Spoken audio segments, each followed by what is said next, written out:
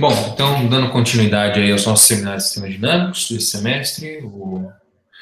quem vai falar hoje vai ser o Leandro Afonso, e ele vai falar sobre o problema centro-foco para campos vetoriais analíticos e analíticos por partes. Então, fica à vontade, Leandro.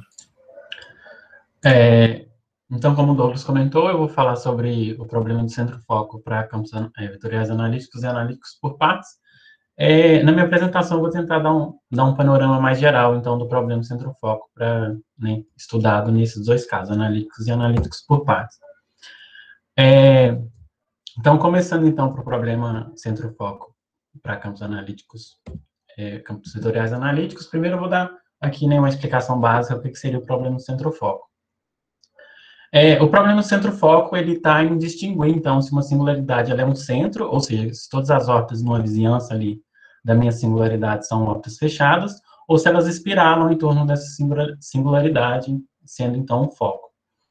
É, esse é um problema, né? É um problema planar, e a gente chama essas singularidades que são distinguidas entre esses dois casos de singularidades, singularidades monodrômicas, né? Então, eu estou trabalhando, então, num, num sistema planar, onde eu já tenho condições no meu sistema, né? Que é o fato de que a singularidade já é uma monodromia, né? Que ela já vai ser distinguida entre esses dois casos.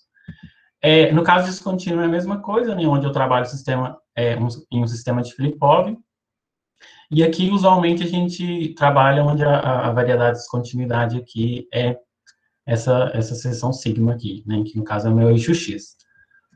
É, uma ferramenta que a gente usa, então, para estudar esse problema é o mapa de primeiro retorno, o que a gente chama de mapa de Poincaré, né, que é um mapa definido né, em uma seção sigma aqui, tanto para o caso contínuo como para o caso descontínuo, né. Para o caso contínuo, a gente né, usa, dado um x aqui na, nessa, minha, nessa minha seção aqui, sigma, o mapa de Poincaré nada mais é, né, o mapa de primeiro retorno, é a primeira vez né, que a órbita com condição inicial x intercepta novamente esse sigma. Né? Então, por isso que é chamado mapa de primeiro retorno.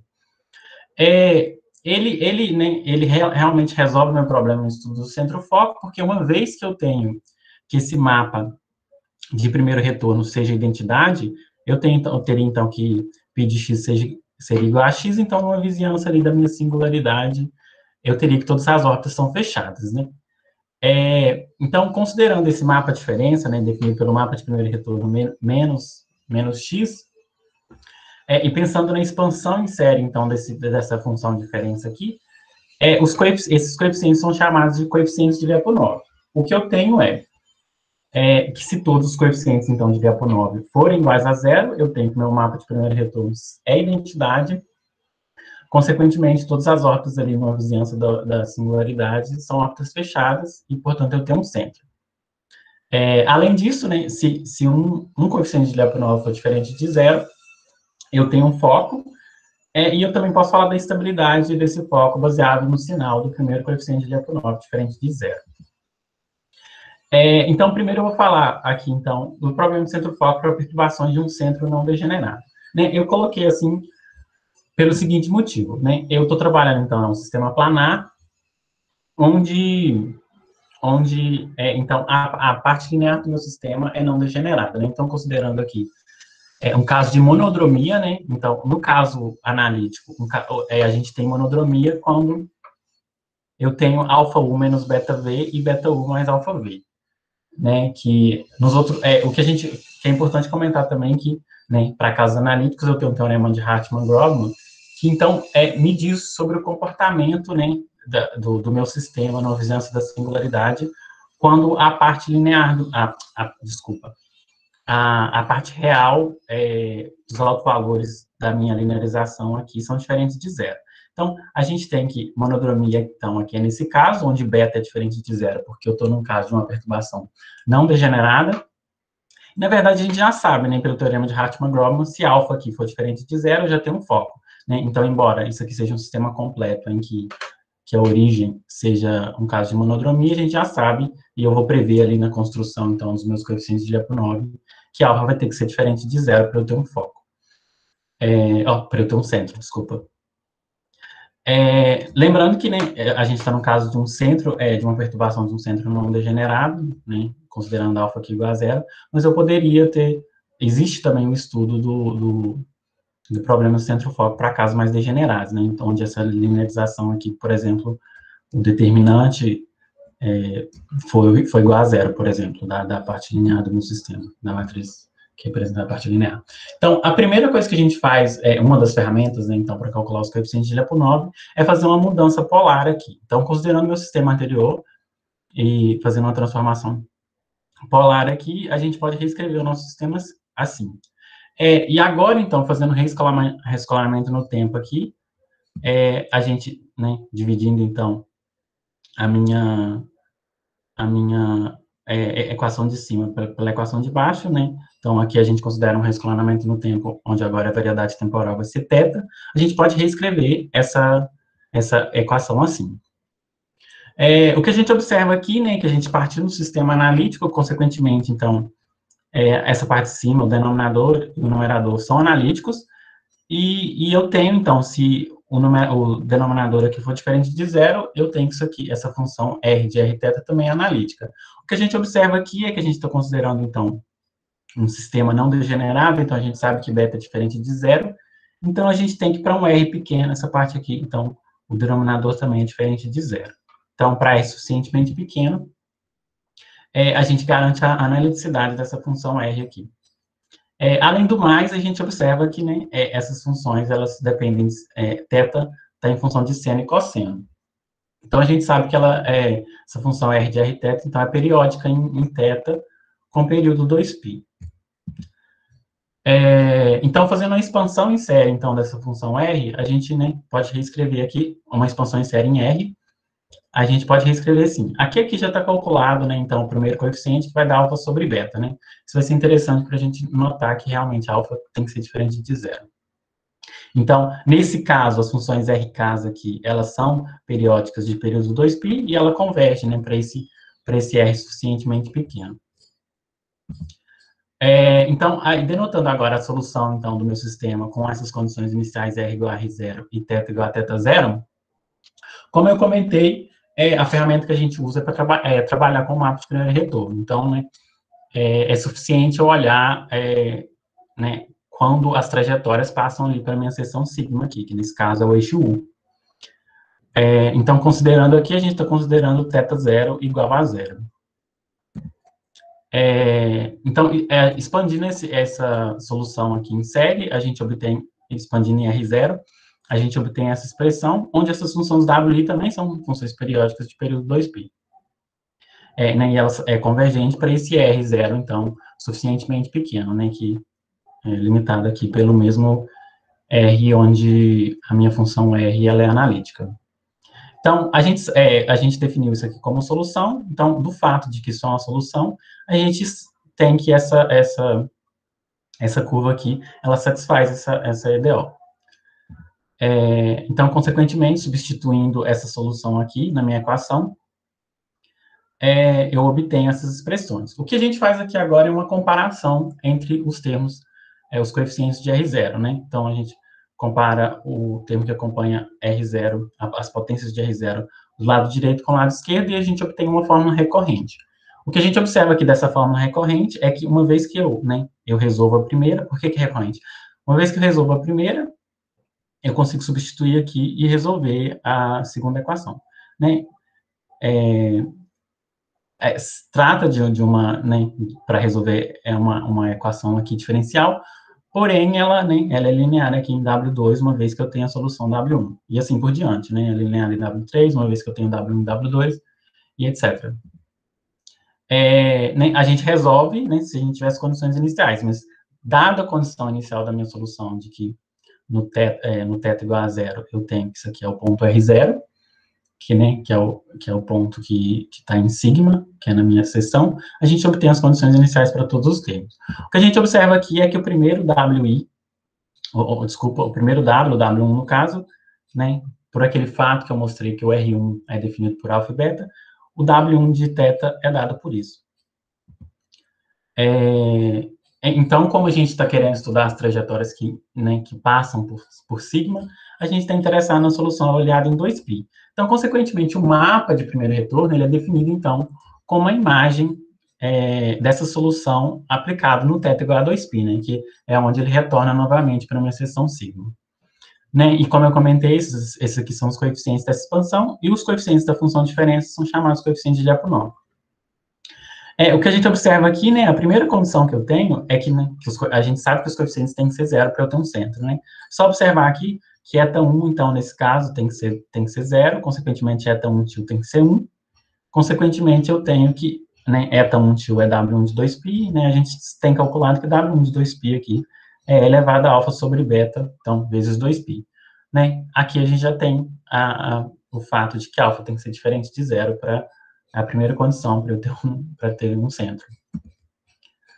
É, então, né, aqui, o, o né, esse resultado escrito de forma né, formal é que eu tenho, então, se todos os coeficientes de Lyapunov forem iguais a zero, a gente tem um centro, né, se somente se todos os coeficientes forem zero, eu tenho um centro, e além do mais, eu posso falar, então, é, da estabilidade do foco. Né? Se existe um coeficiente de Lyapunov, é, o primeiro coeficiente de Lyapunov diferente de zero, ele determina né, a estabilidade desse centro, sendo um, um, foco estável se NK for negativo e instável se NK for positivo.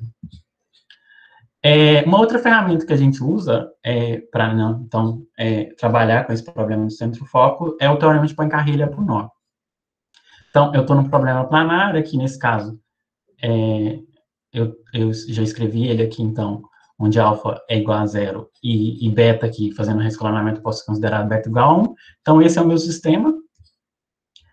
É, né, e, a, e aqui eu estou considerando que o teorema de Poincaré-Lyapunov fala que eu vou ter um centro na origem se somente se o meu sistema admite integral primeira dessa forma aqui. É, lembrando a definição de integral primeira, é, uma integral primeira para um sistema é uma integral, é, é, no caso vai ser uma, uma, uma função onde as, as minhas soluções são constantes nessa, nessa, nessa função, né? Então, em outras palavras, é uma integral, é integral primeira para o sistema se é, satisfaz, então, de x de φ aqui igual a zero, onde é, x de φ é definido dessa forma. É, então, o que a gente faz aqui é considerar, então, que a gente vai considerar um sistema, né, como eu considerei ali, nesse caso polinomial, e eu vou trabalhar, então, com, com, com quero saber quais as condições que recaem, então, sobre os meus parâmetros do, do meu sistema polinomial, para que ele tenha uma integral primeira, né? A gente sabe que para ter integral primeira, essa expressão tem que ser identicamente nula, né? Uma vez que eu, que eu substituo meu sistema aqui, então, nessa, nessa nessa expressão, eu obtenho é, né, condições aqui, eu quero resolver, né, eu quero parâmetros que resolvam é, né, a minha equação. As, as, as, os polinômios que sobram, então, digamos assim, que recaem sobre as condições dos meus parâmetros da minha, do meu sistema polinomial, são essas condições aqui. Né? Consequentemente, eu quero que isso aqui seja identicamente nula, então eu quero que esses nis aqui é, sejam todos nulos. É, lembrando que isso são, é, são, são, são polinomiais nos meus parâmetros do meu sistema inicial. Então, eu já estou recaindo, eu já está recaindo condições nos parâmetros do meu sistema inicial para que aquilo seja um centro. É, esse, esse ideal é chamado de ideal, é, ideal real de Baltan, né, que, é, que é um ideal que pertence a esse anel aqui, e o que a gente tem da, do teorema da base de Hilbert é que se K é um corpo, a gente tem que todo ideal é finitamente gerado. Então, consequentemente, eu sei que vai existir um K aqui, né, que gera todos esses polinômios aqui, uma vez que K né, é, é, é um corpo, nesse caso R. E, é, então, consequentemente, eu posso escrever esse ideal real de Baltan como gerado por, por, por K polinômios nos parâmetros iniciais. É, além do, é, eu vou definir então também o que é, seria variedade afim. Variedade afim para o meu sistema, é, uma variedade afim então é definida como esse conjunto aqui, que vai ser o conjunto dos pontos, tal que todas as f's, né, do meu ideal, digamos, é, se anulam. E, e aí, disso a gente tem a definição, né, que a variedade daquele meu ideal real de Baltan dá origem ao que a gente chama de variedade real central. Por que, que a gente chama de variedade real central? Né, porque é, cada ponto que pertence essa variedade real central, ela tem um, um sistema correspondente, então, né, porque isso aqui são os pontos, né, são os meus parâmetros, e ela corresponde ao sistema onde tem um centro, uma vez que um ponto aqui é onde todas, todas as funções desse ideal aqui, elas se anulam, né, se todas essas funções se anulam, consequentemente, a integral primeira, a, essa, essa expressão que ela é identicamente nula. É, o que eu gostaria de observar aqui é que, né, embora né, pareça, é, em, em, teoria, que é simples, né, usando os teoremas, mas na prática, é, tanto o cálculo dos coeficientes de Lyapunov que eu apresentei primeiro, e o cálculo aqui, desse, então, desses ideais aqui, é um cálculo difícil, mesmo para computador. Usualmente, a gente usa softwares, nesse caso aqui de ideais, é, de ideais é, de Baltan aqui, a gente usa decomposição para descobrir quem, quem é que gera esses ideais, a gente usa softwares matemáticos tipo Singular, que faz essa decomposição, mas é um trabalho difícil, tanto é que o problema do centro-foco, ele não está totalmente resolvido nem para perturbações cúbicas ali, né? então onde aqueles polinômios dos meus parâmetros sejam cúbicos. Então, é um trabalho difícil, o Murilo, inclusive, comentou sobre a dificuldade aí dessa decomposição usando é, usando esses ideais é, reais de Baltan para encontrar soluções. É, então, é um trabalho difícil. E também o cálculo dos coeficientes de 9 é um trabalho difícil mesmo computacionalmente, né, porque, como eu, como eu mostrei, ele passa por transformação polar, então estou mexendo com funções trigonométricas, eu tô, também estou trabalhando com soluções de EDO. É, né, é natural, a gente, como a gente trabalha com coeficientes de, é, de 9, coeficientes dessa expansão, é, é, um, é natural a gente é, trabalhar, então, com ciclos limites, né? Ciclos limites que, que, que bifurcam, então, de perturbações, assim, de um centro. É, né, eu, eu mostrei aqui duas ferramentas, para uma ferramenta para o cálculo, então, dos coeficientes de Lyapunov e outra ferramenta para definir é, né, soluções para o meu problema ser um centro. Existem outras, inclusive mais usuais, que é, por exemplo, passar para a complexificação do meu sistema e aí trabalhar também, existe um teorema para integrar primeiro nesse caso, e, mas assim, a dificuldade para o cálculo dos coeficientes de Lyapunov é a mesma. Aqui eu vou apresentar os, os, resultados mais recentes sobre bifurcação de ciclos limites nesses casos, né? né? O interesse de bifurcação em ciclos limites, ele, ele, né, o, o estudo normalmente ele caminha no sentido de descobrir o, número máximo de ciclos limites é, que eu consigo dado uma perturbação de um centro. Né? Então, eu tenho um centro, eu, eu faço uma perturbação de certo grau, e eu quero saber o número máximo de ciclos limites.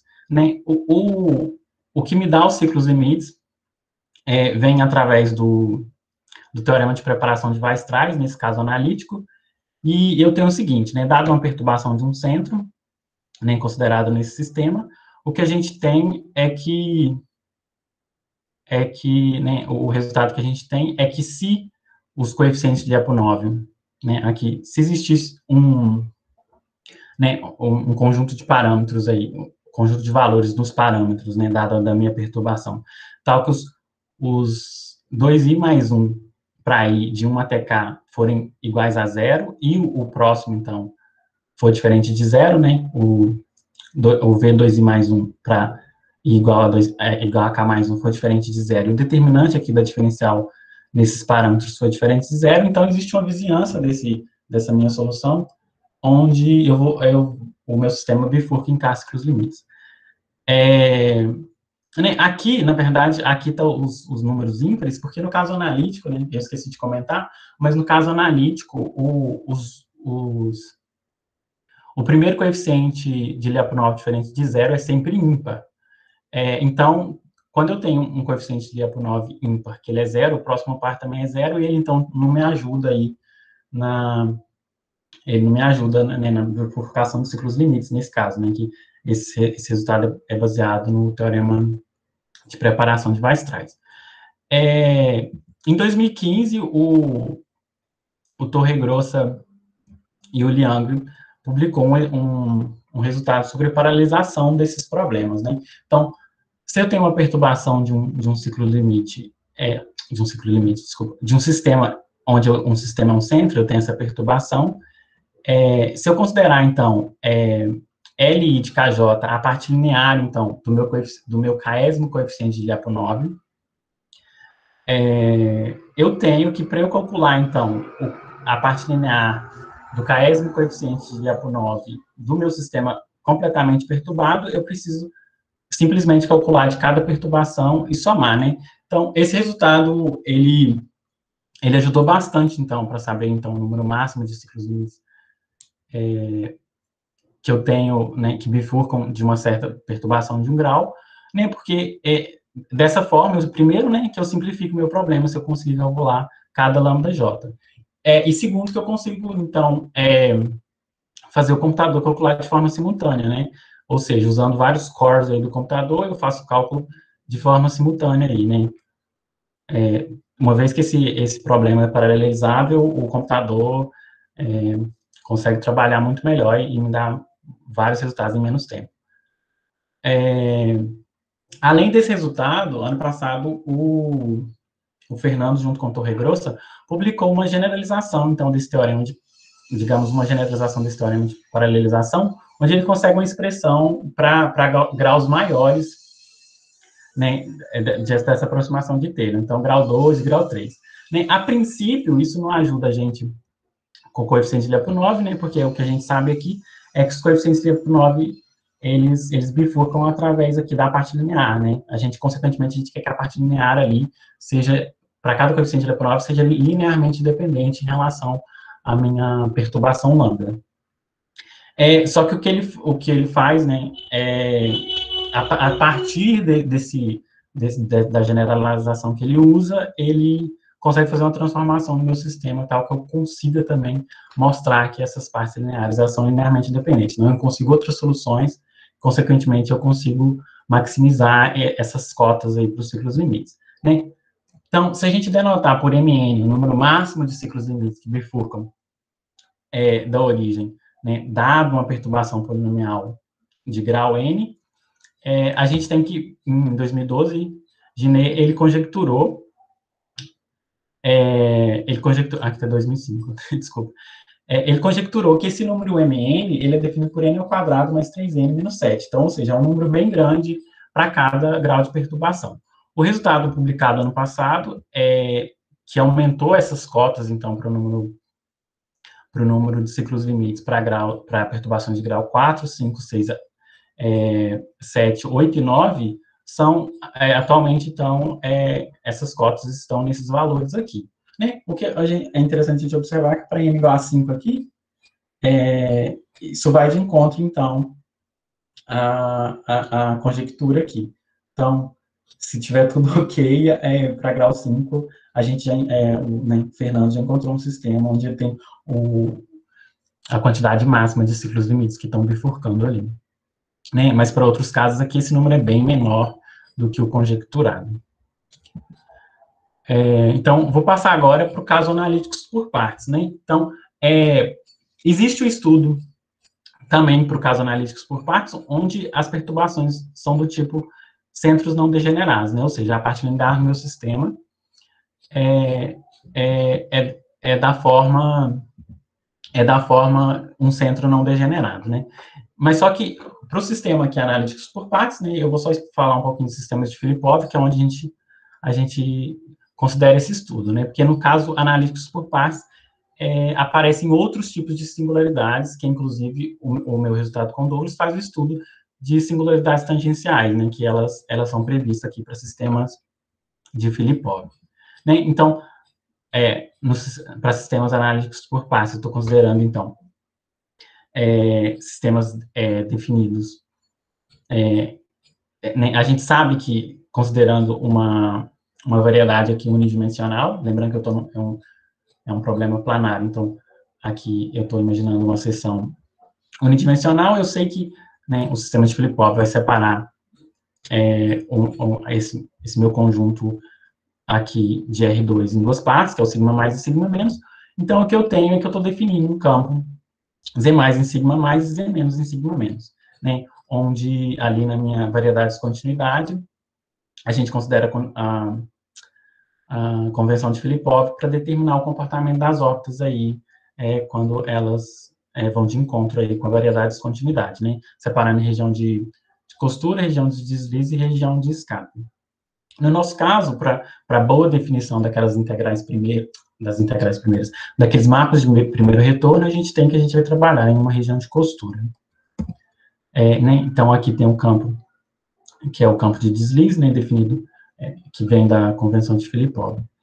É, então, aqui tem as singularidades são previstas, então, no sistema de Filipov, né, que é a singularidade usual, né, que, tipo, que é quando o campo se anula na, na origem, né, considerando que a singularidade é na origem, é, onde P também é uma singularidade de pseudo-equilíbrio, e também tem, é, né, em sistemas de Filipov, é, a gente tem a, a definição desses, dessas singularidades tangenciais aqui, que chamada de P ponto tangencial. E é nesse caso que o meu resultado do Douglas é, trabalhou o problema do centro-foco, então, e também o problema de ciclicidade. É, então, como eu comentei, existem, existe o um estudo, é, né, o, o, onde a gente obtém mais, onde né, na literatura já tem já é um problema bem estudado, são onde é, a origem, então, é, é, se anula para o campo, né, é, e onde é, o meu sistema é uma perturbação de um centro, é, não degenerada, né, então, consequentemente, eu teria aqui, para o campo de cima, a origem, a origem, a parte linear da origem é um centro, e campo de baixo seria a mesma coisa. Nesse caso, existe um desenvolvimento, da mesma forma que eu mostrei, é, da mesma forma que eu mostrei, então, para o caso analítico, existe esse desenvolvimento para o cálculo dos coeficientes leptonosos, né, que passam ou por complexificação é, e também passa por, por normalmente, por é, uma transformação polar aí para o cálculo desses coeficientes. É, aqui eu não vou apresentar, né, porque é, um, é uma construção é, bem parecida com o caso analítico. É, então, o, o, resultado do Douglas, ele, ele né, é um estudo para os coeficientes de Lyapunov para o tipo de singularidade tangencial, né, que a gente, é uma singularidade que eu vou definir aqui logo em seguida, que é, é que é uma singularidade tangencial monodrômica, né, que é onde sempre o estudo dos coeficientes de Lyapunov, o estudo do problema centro-foco, ele sempre é o estudo de, de singularidades monodrômicas. Né? Antes disso, eu vou só relembrar aqui, antes de definir, então, que tipo de singularidade eu estou trabalhando, é, eu vou, de, vou relembrar aqui alguns conceitos aqui. Né? O primeiro conceito que eu vou relembrar é o, o conceito de contato, né? Então, a gente fala que um ponto P né, é um contato é, do meu campo com a minha variedade de continuidade, se, né, um, um, contato de multiplicidade K, se todas as derivadas de Lie até a ordem K, é, até a ordem K menos 1 foi, foram iguais a zero e a de ordem K foi diferente de zero. É, além do mais, a gente pode falar da visibilidade desse contato é, se for um contato de, de multiplicidade par. Então, se for um contato de multiplicidade par, a gente fala que esse contato é visível para o campo Z+, é, se, a derivada, se a derivada de, de ordem 2K for positiva, e visível para o campo Z- ali, é, se for menor do que zero. Né? É, caso contrário, esse, esse contato é chamado invisível. Então, aqui eu vou definir minha singularidade, né? Como eu falei, a gente está querendo trabalhar uma singularidade tangencial e onde eu tenho monodromia, né? Então, a, a, singularidade que eu vou definir é o que a gente chama de singularidade 2K mais 2K menos tangencial monodrômica, e ela é definida quando P, né, a minha singularidade é um contato de multiplicidade 2K é, invisível, ok? E, e, onde eu tenho um mapa de primeiro retorno bem definido, né? Então, essa monodromia, ela acontece nesse caso aqui, né? Porque, porque primeiro, eu quero um contato, eu quero o comportamento das órbitas sejam desses, ou seja, né, para eu obter, para eu ter uma singularidade que se distingue entre centro e foco, eu quero que o comportamento para Z mais seja assim, e Z menos seja assim. Além do mais, eu quero que essas órbitas, né, elas concordam de um jeito que o mapa de primeiro retorno é bem definido. Então, nesse caso aqui, um exemplo seria a parte de cima, é, as órbitas né, giram aqui no sentido anti-horário e na parte de baixo também, né? Então, esse mapa de primeiro retorno vem dessa condição. É, é, essa singularidade, ela pode ser traduzida, então, é, através dessas condições aqui, né? Então, dado uma singularidade do tipo 2K mais, 2K menos, a gente tem essas três condições, né? Que primeiro, o campo x mais ou menos de zero, ele é diferente de zero, isso vem do fato de ser uma singularidade tangente, E essas, essas derivadas aqui até a ordem 2K, 2K mais ou menos menos 2, elas são iguais a zero, e a de ordem 2K mais ou menos menos 1 é diferente de zero. Isso aqui vem do fato de ser um contato de ordem, é, um contato de ordem 2K. Essa condição, essa condição 2 aqui é, fala sobre o sinal, então, é, desse produto aqui, e essa condição vem do fato de ser um contato invisível. Por último, essa condição 3 vem do fato né, de que as órbitas ali, elas têm que concordar de forma que o mapa de primeiro retorno seja bem definido, então eu tenho que, que o sinal aqui é, da componente, né, da primeira componente do meu campo é, aplicada na singularidade sejam, tenham sinais opostos. É, então, é, dessas condições, o que a gente vai desenvolver é uma forma canônica para o meu, meu sistema com esse tipo de singularidade. É, essa forma canônica foi de, de extrema importância para a gente desenvolver, então, é, o nosso teorema que diz respeito sobre é, encontrar esses coeficientes de Lyapunov, porque ele simplifica bastante o meu problema e a gente vai ficar bem claro aqui depois que a gente desenvolver essa forma canônica. É, então, dessas condições, é, da condição 1, né, a gente tem que, que o campo, é, a componente x ali do meu campo, ela é diferente de zero, e, é, e da condição 2, a gente também tem resultado sobre o sinal aqui da derivada de Lie de ordem 2K. É, da condição 3, né, que a gente sabe que os sinais de x mais aplicado na, na origem, x menos aplicado na origem tem sinais opostos, então esse delta definido como sinal aqui de x mais está é, tá bem definido dessa forma. É, então, da, condição 1, que x mais ou menos é diferente de zero, a gente tem, então, que numa vizinhança da origem, é, a gente pode escrever x mais ou menos, o modo x mais ou menos, como mais ou menos delta vezes, vezes a componente, né, a primeira componente do campo. Consequentemente, a gente pode fazer um reescalonamento no tempo, dividindo o meu sistema inicial ali por, pelo módulo de, de x mais ou menos é, x mais ou menos, o módulo de x mais ou menos xy. No na primeira componente, então, vai ficar bem simplificado, então eu tenho que a primeira componente desse meu sistema reescalonado, ele é simplesmente constante aqui, e é, isso é interessante, né, porque a gente vai ver posteriormente que vai, vai ser, é possível, por exemplo, calcular a componente x de uma solução aqui desse campo. Além do mais, é, a gente fez esse rescalonamento, onde as órbitas ali na vizinhança da singularidade, elas são, elas são equivalentes, né? As órbitas, elas se comportam da mesma forma no meu sistema é, antes do reescalonamento. Então, eu posso estudar é, é, esse novo sistema aqui. É, eu vou omitir aqui alguns cálculos, mas a gente também obtém é, formas simplificadas aqui para essa, essa, essa segunda componente aqui, e a minha forma canônica final aqui, ela pode ser escrita dessa forma aqui, onde esses valores a mais e A menos, essas funções F mais, G mais e F menos, G menos, são definidos aqui é, como mostradas, né, que dependem é, das componentes iniciais do campo. É, então, para a gente passar para os nossos resultados aí, para a construção dos coeficientes de prova, a gente vai fazer o uso de, dessas, de algumas definições algébricas aqui. Né, a primeira é, a primeira é sobre polinômios parciais de Bell e polinômios Polinômios espaciais de Bell e polinômios ordinários de Bell, que são definições algébricas é, que são dadas, são essas duas definições algébricas, né, que são dadas para esse somatório e esse produtório, onde esses BI, esses BIs aqui, né, eles são, eles satisfazem essas duas equações aqui. É, o que a gente tem é que a gente tem também esse resultado de, que é uma identidade, que é uma forma multinomial, que eu consigo escrever, então, é, é, eu consigo escrever o somatório elevado aqui, então, a uma potência n, em função dos polinômios ordinários de Bell. É, então, passando agora para o problema do centro-foco.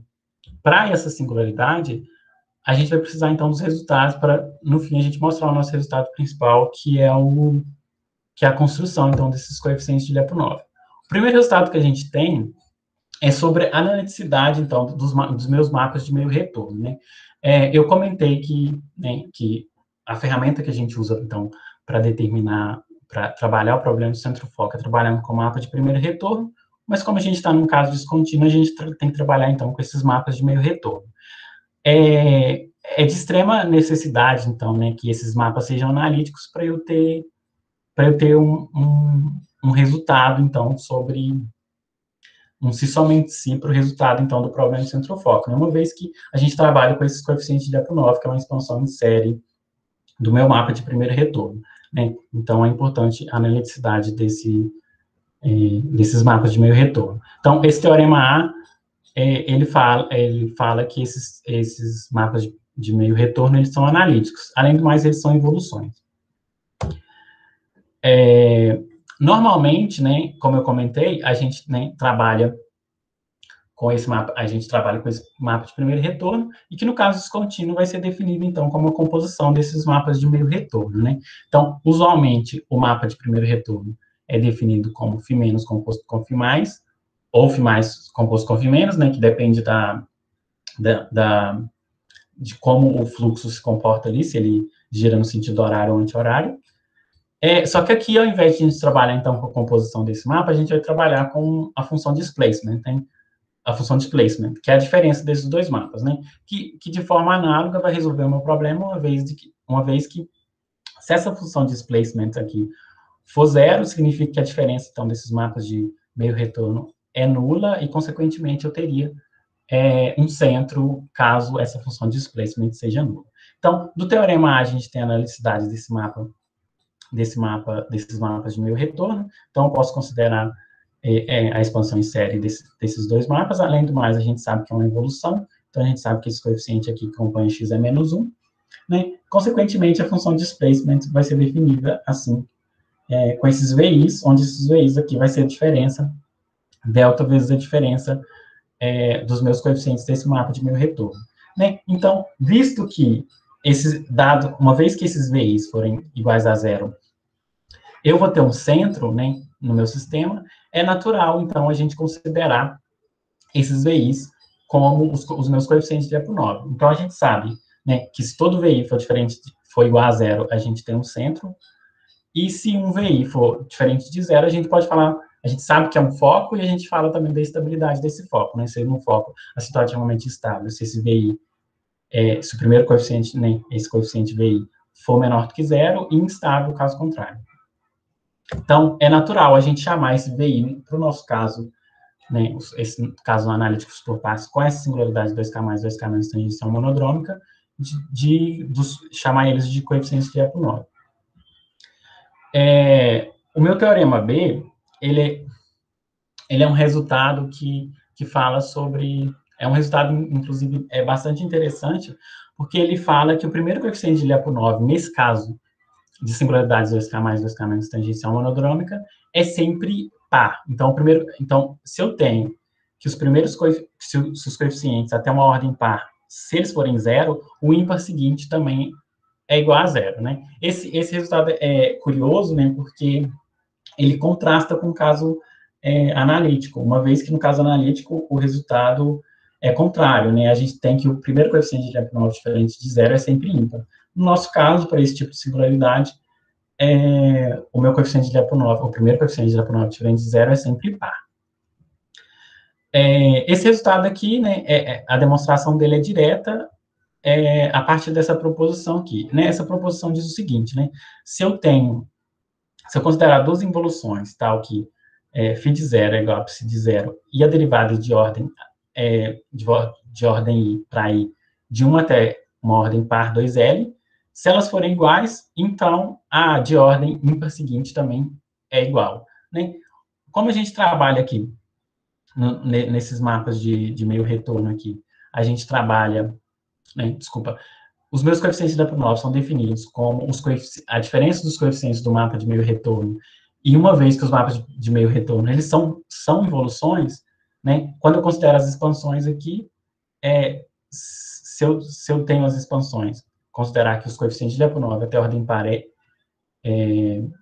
são iguais, é igual a zero, consequentemente, as derivadas até ordem par da, da, da minha, do, do, meu mapa de meio retorno são iguais, é, né, e aí dessa, dessa proposição eu tenho K ímpar seguinte, vai, vão ser também iguais, consequentemente o VI seguinte, né, o VI de ordem ímpar também vai ser igual a zero, né, então, é, esse teorema B é uma demonstração imediata usando essa proposição aqui. Agora a gente vai passar para o nosso teorema principal, né, que diz respeito aos coeficientes de Lyapunov. Na verdade, no meu resultado aqui, ele fala, então, sobre os coeficientes, é, os coeficientes alfa, né, que é a expansão em série dos mapas MIS, mas a gente, né, relembrando novamente que os coeficientes de Lyapunov são definidos é, simplesmente por, por, delta vezes a diferença desses alfas, né? Então, uma vez que eu consigo encontrar esses alfas, eu encontro os meus coeficientes de Lyapunov, VIs. Né? Esse teorema fala o seguinte, teorema, esse teorema realmente dá uma forma explícita e recorrente, na verdade, para eu calcular esses coeficientes de Lyapunov. Né? A gente tem, então, que alfa 1 é menos 1 e alfa n é dado de forma recorrente aqui é, em função dos alfas anteriores, né? Aqui, o alfa n vai depender dessa função p e esses valores mi, mas esses valores mi, essa, essa função p, ela depende dos alfas anteriores e esses valores mi, e, por sua vez, esses valores mi, eles dependem das derivadas de, dessas funções yj, né, que são definidas de forma recorrente é, em função é, dos, dos, meus valores A, né, e das minhas funções é, FG, né, que são definidos a partir do campo. Né, esse resultado parece um pouquinho, né, ele, ele é complexo, grande, é, ele depende de duas recorrências, mas eles são facilmente implementados no matemática por exemplo. Então, é, a gente tem um algoritmo implementado que a gente consegue calcular todos os coeficientes de Lyapunov, né, é, né, obviamente com o limite que o computador, que o computador tem. É, né, esse resultado é interessante do ponto de vista computacional, porque diferente, então, do resultado para campos analíticos, né, é, ele não passa por transformação polar, então ele não mexe com, é, ele não mexe com funções trigonométricas, soluções de EDO, então, ele é um caso bem direto. Né? É, na literatura já, já, existia o estudo né, desse tipo de singularidade não tão geral, né, é, de singularidade tipo dobra-dobra, que é o nosso, que é, que é equivalente à nossa singularidade para k igual a 1, onde existia um estudo aí dos coeficientes de Lyapunov, é, na literatura não tinha, não, não é, até onde a gente conhece, não existia, então, uma forma explícita de calcular esses coeficientes, e, além do mais, as formas para calcular alguns coeficientes de Lyapunov, elas passavam, então, por complexificação do sistema, é, mudando, é, fazer uma transformação polar, então, era uma, uma coisa bem mais trabalhosa. Né? Aqui a gente tem o nosso algoritmo é, é totalmente implementado, que consegue calcular os nossos coeficientes de Lyapunov. É, né, esse algoritmo, ele, né, ele depende do input, né, que é eu falar quem é, é são os meus valores K, né, para eu conseguir realmente calcular. O que a gente tem, o, o que a gente vai apresentar posteriormente vai ser que a gente também consiga um corolário, né, mas posteriormente eu vou mostrar. Aqui eu vou, eu vou mostrar, né, rapidinho, ser bem breve, como que a gente conseguiu, então, é, né, é, conseguiu obter esse algoritmo para calcular os coeficientes.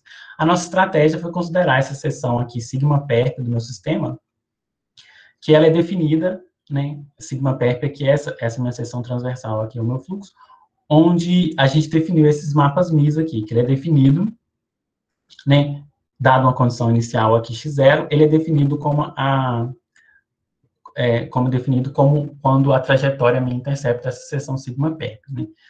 É, o que a gente obtém aqui disso, então, dessa definição, é que, né, como é, mi mais foi definido, a gente sabe, então, que mi mais de x0 vai ser igual a mi mais de φ mais de x0. Então, a gente tem essas duas identidades, tanto para o campo de cima quanto para o campo de baixo. O que a gente pode observar também é que φ mais aqui, essa seção, como ela foi definida aqui, essa seção, né, digamos, uma parte do eixo y, é, a gente sabe que essa mais vai ser a componente, então, y da solução quando a componente x aqui, então, vai ser igual a zero. Né? Então, a gente vai escrever, vai escrever isso aqui. Então, considerando uma solução do meu sistema, né, x mais ou menos, y mais ou menos aqui, é, né, com a condição inicial em sigma, né, então a gente está considerando x0, 0, é, né, da forma canônica, a gente sabe que a componente x do meu campo, ela é bem simplificada, então consigo encontrar a componente x da solução, como eu comentei, a gente sabe que né, a componente x do campo ela é constante, então a solução vai ser dada por isso, né? É, como eu comentei, a gente sabe que mi mais ou menos de x0, então vai ser a componente y quando x é igual a zero. x é igual a zero, né? Igualando aqui essa solução é igual a zero, no tempo menos mais delta de x0. Consequentemente, φ mais ou menos x0 é definido como y mais ou menos calculado, então, no tempo menos mais delta de x0 em x0. Né? É, então, fazendo a expansão aqui desse mapa Mi agora, é, a, gente, né, a gente pode reescrever essa expansão assim, é, MiN aqui, onde esse MiN aqui, então, vai ser a derivada de ordem n sobre n fatorial. Né? Então, fazendo algumas manipulações aqui, a gente sabe, então, que MiN mais ou menos é dado por essa expressão aqui. O que a gente faz aqui é que né, a gente considerou a derivada aqui de ordem t de y, a gente denotou por, y, por y1. É, né, a gente denotou por y quando né, isso aqui, é, a componente aqui temporal for igual a zero e x né, for, for arbitrário aqui. E a gente sabe que esses y e elas vão coincidir com a forma mostrada no teorema C. Né, o primeiro o primeiro lema, né, que eu vou omitir aqui, mas é mostrando que aquelas funções y dadas pelos teoremas, elas são definidas realmente como mostradas no teorema C, né? Uma vez que y e é definido como essas derivadas aqui de ordem t da minha, da minha componente é, y da minha solução. O lema 2 fala um resultado sobre esses mi's, que ele diz que para esse tipo de um sistema com essa singularidade de 2k mais 2k menos tangencial monodrômica, é, a gente tem que esses mi's, eles são iguais a zero, para igual a 2k mais ou menos 1. Né? Então, passando para a prova desse, desse teorema C, a gente tem, então, que a gente vai trabalhar essa identidade aqui, né, que eu mostrei ali junto com a figura. Então, dessa identidade aqui, a gente, considerando a expansão de φ mais ou menos aqui, substituindo aqui, a gente tem desse lado direito, que a gente pode usar o teorema multinomial que eu apresentei, que ele é escrito em função dos polinômios ordinários de Bell, e, né, e reescrevendo aqui esse somatório dessa forma, o que a gente pode fazer aqui é comparar os termos que acompanham é, a potência x0 i do lado direito e do lado esquerdo. Então, do lado esquerdo, a gente tem que, o termo que acompanha x0i é o mi, certo? E do lado direito, né, é, fazendo uma análise aqui desses dois somatórios, a gente então tem que mi vai ser igual a esse somatório. Lembrando que aqui j vai começar de 2k, porque, como eu mostrei né, no lema 2, a gente tem que é, y para i menor do que 2k é zero. Então, a gente está considerando i maior ou igual a 2k. Então, para i maior do, i maior do que 2k, a gente obtém essa expressão aqui. Né? Então, usando algumas propriedades é, de polinômios de Bell e também, primeiramente, separando essa soma aqui no primeiro termo né, e deixando o somatório dos outros termos, e efetuando aqui uma, algumas propriedades de polinômios ordinários de Bell, gente, o que a gente consegue é escrever o alfa i menos 2k mais 1 de forma isolada. Então, considerando essa expressão e isolando o alfa i menos 2k mais 1, a gente obtém essa expressão. Então, é, o que a gente observa aqui é o seguinte, né? A gente tem que i é maior do que 2k. Consequentemente, a gente, a gente sabe que o, o índice aqui desse alfa, ele começa de 1, então, realmente, eu estou encontrando uma, um algoritmo para todos os coeficientes de Lyapunov. É, além disso, né, é importante observar que essa forma realmente está ok, né? É, ou seja, né, que esse, esse, esse alfa aqui, é, desse lado direito, eu tenho né, a dependência só dos alfas anteriores, né? E de fato eu tenho, né? Porque nessa primeira componente aqui, o maior alfa que aparece é o i menos 2k, e aqui o maior alfa que aparece é quando j é o menor valor, né? Consequentemente, quando j é igual a 2k mais 1, né? substituindo aqui, eu tenho que o maior alfa que aparece aqui é o também é o, 2, é, é o i menos 2k. É, então, né, fazendo uma mudança de índice aqui para esse índice começar de 1, a gente obtém a expressão que eu apresentei no teorema. Né, então, fica aprovado o teorema. É, como eu comentei, a gente também tem um corolário, a gente viu, então, que o meu teorema ele me dá uma forma para calcular os coeficientes de Lyapunov de forma recorrente, Além do mais, eu preciso né, de dar um input para o meu algoritmo, que é, que é colocar quem é K, por exemplo. Aqui a gente, fez, a gente conseguiu né, mostrar um corolário onde a gente tem K arbitrário e a gente conseguiu calcular, então, os quatro primeiros coeficientes de Lyapunov é, para K arbitrário. Né, aqui, para simplificar, a gente considerou esse K que a gente tirou o sinal dele só para simplificar a forma, mas isso aqui é considerado tanto para K mais e K menos, né? É, então, né, a gente também fez um estudo de bifurcação, né, um estudo de ciclicidade para o nosso problema com é, né, nosso próprio sistema de Filipov com o nosso tipo de singularidade, né? Então, a gente obteve resultados também é, a partir, então, do teorema de, esses, os teoremas que eu vou apresentar, foram demonstrados a partir do teorema de preparação de Malgrange, né, que é, que é o, o teorema equivalente para sistemas descontínuos, sistema de preparação de Weierstrass. Né? O primeiro resultado, o primeiro teorema aqui sobre, né, que envolve ciclicidade, então, para o meu problema, ele fala, né, que se eu tenho uma família um parâmetro, é, com uma singularidade 2K mais 2K mais 2K menos tangencial monodrômica, tal que o V2 de lambda e o V4 de lambda sejam os, os, o segundo e o quarto coeficiente de Lyapunov, e assumindo que existe um lambda zero, então, no intervalo i, tal que o V2 de lambda zero é igual a zero, e o V2' de lambda zero seja diferente de zero, e o V4 de lambda zero seja diferente de zero, então vai existir uma vizinhança J desse i, né, uma vizinhança de lambda zero que está contida nesse i, tal que é, o meu sistema, né, para todo, todo lambda ali nessa vizinhança J, o meu sistema é, tem um ciclo limite. É, então, aqui eu vou mostrar um exemplo rapidão. Eu não sei como é que está o meu tempo, né, mas eu acho que, eu estou dentro do tempo. Então, é, vou mostrar um exemplo rapidinho, né? Então, eu considerando essa família aqui é um parâmetro, né? Lembrando que eu já eu já tô, né? Ela está na forma canônica e aqui, além do mais, né? Então, fica fácil eu, mostrar, eu perceber que se trata de uma singularidade 2K mais 2K menos tangencial monodrômica, uma vez que ela já está escrita na forma canônica. Então, o que a gente observa aqui, calculando, usando o nosso algoritmo, então, é, o nosso algoritmo, a gente consegue calcular o V2 e o V4, eles são dados por essas expressões, e a gente sabe, então, que para lambda zero é igual a esse valor aqui, a gente tem que ver lambda zero é zero, é, a gente tem que ver aqui, é, é dado por esse valor IL, que é definido pelo V4, lambda zero é dado por esse valor, e a gente sabe que é diferente de zero aqui. É, então, consequentemente, usando o teorema D, eu tenho um, um ciclo limite para todo lambda. Nesse caso, aqui a nossa vizinhança é para todo lambda menor do que esse lambda zero. Né? Esse lambda zero é definido assim. É, aqui um outro exemplo, é, é, da mesma forma, eu tenho uma família é um parâmetro, ela já está escrita na forma canônica. Então, eu sei que se trata de uma singularidade 2K mais 2K menos tangencial monodrômica. Nesse caso aqui, o K mais e o K menos são iguais.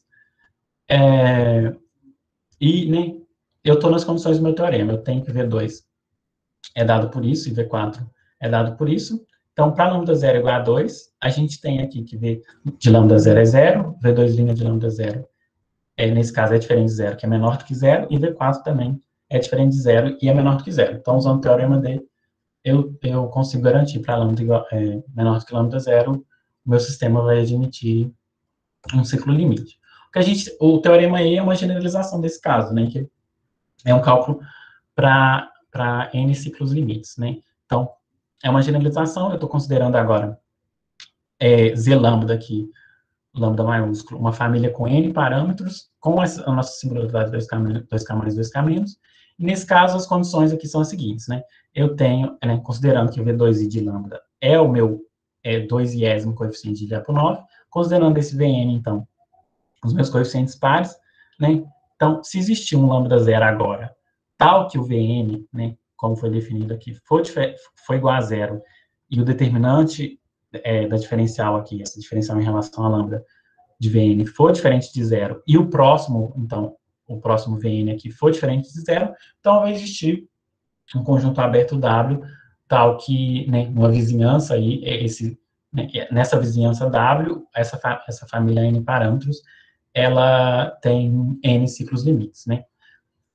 É, aqui, lembrando que a demonstração desses dois teoremas são baseados, né, como eu comentei, no teorema de preparação de Malgrande. Né, aqui a gente, a gente tem um exemplo, né, a gente considera uma família é, com cinco parâmetros, né, né, como eu falei, aqui é fácil ver que ela é uma singularidade tangencial monodrômica, uma vez que ela já está escrita na forma canônica, nesse caso K aqui é igual a 1, né, então, uso, fazendo uso do meu teorema aqui, né, que calcula os coeficientes de Lyapunov, 9, eu consigo encontrar essas soluções aqui. Então, para lambda zero, então, igual a isso, eu consigo mostrar que V5 de lambda zero é identicamente nulo, que o determinante é diferente de zero, e o V12 também é diferente de zero. Então, pelo teorema, eu tenho que, né, nessa vizinhança aqui, é, o, o sistema admite é, cinco, cinco ciclos limites. É, então, antes de finalizar, eu só gostaria de comentar, né, que eu acho que é, é, dá para perceber, né, que a gente considerou só só os ciclos limites que bifurcam ali para minha família. Além do mais, é, fazendo uma perturbação aqui, é, como se trata do sistema descontínuo, eu posso fazer uma perturbação aqui dessa forma, é, onde a gente consegue mais um ciclo limite, né, que a gente chama de pseudo-Hopf, é, uma bifurcação pseudo-Hopf. É, só que nesse caso, né, é importante lembrar que a gente tem uma distribuição da minha singularidade. Então, para aquele tipo de singularidade, meu teorema garante, então, aqueles, aqueles ciclos limites apresentados, mas eu consigo também outra, uma, assim, um, uma, um ciclo limite adicional fazendo essa perturbação, que nesse caso vai destruir o, a minha singularidade. É, então é isso, é, essas aqui são as referências, né, algumas sobre a forma canônica, os resultados né, da generalização, da paralisação do meu sistema para conseguir os ciclos limites. É, e é isso. Obrigado. Obrigado, Leandro. Vamos agradecer ao Leandro. Obrigado.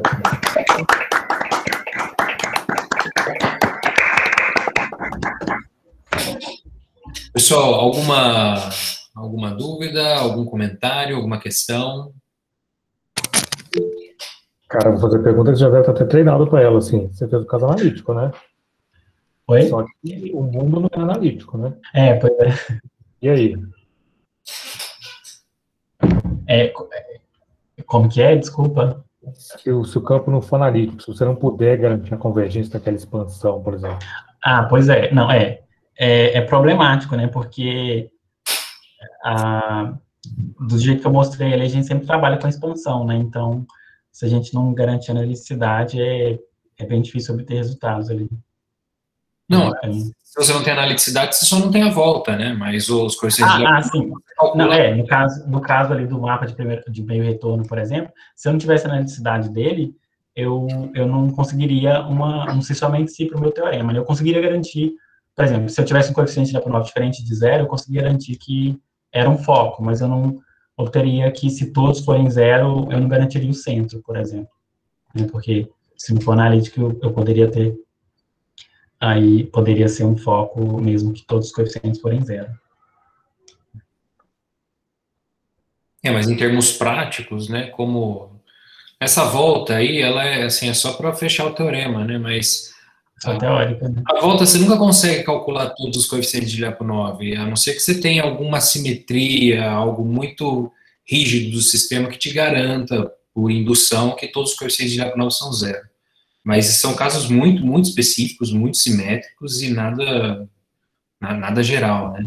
Então, é. essa volta aí é mais só para deixar redondinho o teorema. Agora, é, o cálculo de Lyapunov, você sempre consegue fazer até a ordem de diferenciabilidade do seu sistema. Né? E bifurcação de ciclo limite, etc., também continua válido. Né? O que você consegue sempre é achar essas cotas, né? Exatamente. É, o íntimo, é. Marco, Marco Antônio, você levantou a mão aí. Você está. Eu tenho duas questões a dizer. A primeira delas, eu não vi uma conexão entre o resultado do Torre Grossa com as coisas que você, com os resultados que você obteve. Ah, eu não senti assim nenhuma ah, conexão entre eles. E a outra, uhum. deixa a outra é o seguinte: eu estudei muito esse problema do. Eu estava na França e, eu, e, era moda, eu peguei o final disso e, e os problemas que é, finais que, que ficaram pendentes ainda tem, né? Mas foi uh, alguns problemas foram resolvidos pelo Zoladec, que esses, os problemas que ficaram pendentes desaguaram uh, na, na, correlação entre o problema centro-foco com a reversibilidade, que é um problema simétrico. Eu peguei um gancho disso e fiz com um, um, um chinês que estava que fazendo um pós-doc aqui, uma, um trabalho chama Problema Centro-Foco e Reversibilidade, isso no começo do, do século.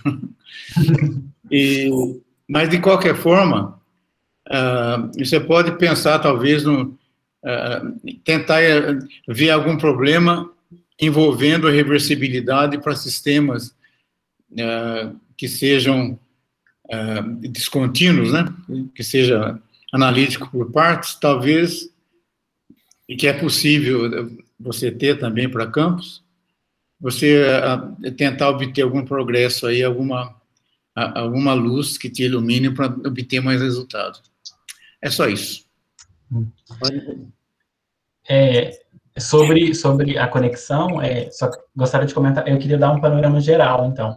Então, é, então, no caso analítico e a perturbação de um centro não degenerado, né, eu apresentei ali um resultado ali das cotas, e para o nosso resultado a gente, digamos que ainda não tem, né, esse, essas cotas que a gente poderia fazer trabalhar. É, e, e, realmente eu, eu, eu vi, né, esses, né, no meu mestrado eu, eu estudei esses, um pouquinho, é, esses esses sistemas, né, que tinha reversibilidade, que realmente eu, eu obti, é, no mestrado eu estudei alguns casos em que a gente obtém é, resultados para centro, né, então é, eu agradeço aí a, a, a, dica de tentar realmente fazer isso para sistemas descontínuos. Murilo levantou a mão aí. O, Marco está com a mão levantada ainda? Tá... Não, eu abaixei a mão. Você, ah, você, beleza, beleza. você não abaixou. Ah, oi, eu, eu, só, eu, só, queria fazer uma pergunta simples, que quando o Leandro apresentou o algoritmo, ele comentou que ele era de fácil implementação, mas que também dentro do limite computacional. Eu queria saber qual que é esse limite computacional para um sistema razoavelmente complexo, aí, qual foi o maior coeficiente de Lyapunov que você conseguiu calcular, e se esse coeficiente foi calculado com respeito à parte linear só dos, dos parâmetros. É, então, é, esse algoritmo realmente dá, dá um coeficiente de F9 é, né, é, de forma completa, né, não só a parte linear. Mas sobre o limite assim, computacional, a gente está trabalhando agora, né, tentando estudar ciclos limite para usando esse algoritmo, né, porque eu acho que dá para explorar bastante o estudo de ciclos limites aí, é, usando esse algoritmo.